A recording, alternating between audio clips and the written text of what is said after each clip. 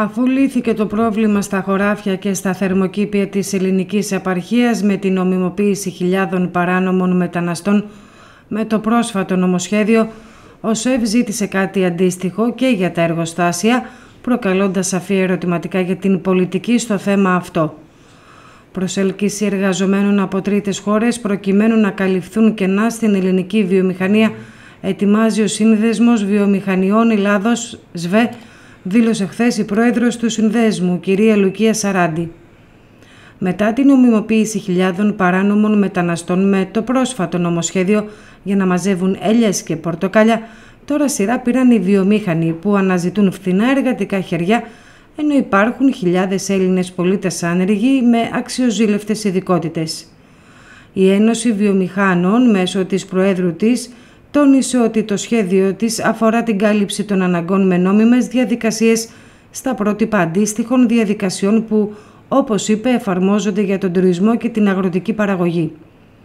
Η κυρία Σαράντη χαρακτήρισε την έλλειψη εργατικού δυναμικού σε όλες τις βαθμίδες ειδίκευσης ως το σημαντικότερο πρόβλημα που αντιμετωπίζει σήμερα η ελληνική βιομηχανία. Επαναλαμβάνουμε, Έλληνες τεχνίτες δεν υπάρχουν γιατί φεύγουν στην Ευρωπαϊκή Ένωση. Το πρόβλημα στην ελληνική κοινωνία σήμερα είναι η χαμηλή μισθή, με τους οποίους σύμφωνα με έρευνα τα χρήματα για μία οικογένεια, τετραμελή, φτάνουν για 19 μέρες.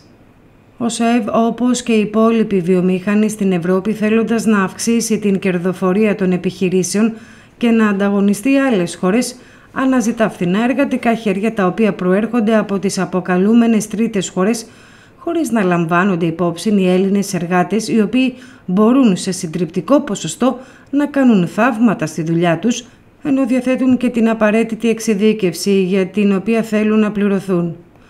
Αυτή η πολιτική έναντι των Ελλήνων πολιτών με την εισαγωγή χιλιάδων ανειδίκευθων στο σύνολο τους μεταναστών από τρίτες χώρες μόνο δεινά θα φέρει στη χώρα μας σύμφωνα με πολλές και διαφορετικές έρευνες.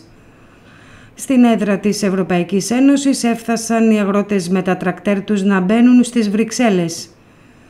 Την ίδια περίοδο οι αγρότες από 7-8 χώρες έφτασαν στην έδρα της Ευρωπαϊκής Ένωσης στις Βρυξέλλες απαιτώντας επιδοτήσεις στα καύσιμα, στήριξη της παραγωγής τους και κατάργηση των σχεδίων της Ένωσης για την κτηνοτροφία με σκοπό τη μείωση των αποτυπωμάτων του άνθρακα.